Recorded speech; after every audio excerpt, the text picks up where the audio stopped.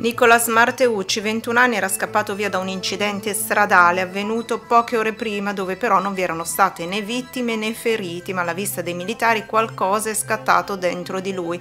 Gli uomini dell'arma hanno così contattato la mamma di Nicolas, dopo essere risaliti alla residenza del proprietario della vettura incidentata attraverso i numeri di targa.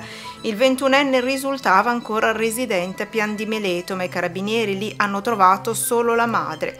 La donna ha provato a contattare il figlio figlio ma senza successo e così ha dato ai militari l'indirizzo della casa di campagna dove il giovane si era trasferito da poco a Sant'Angelo in Vado.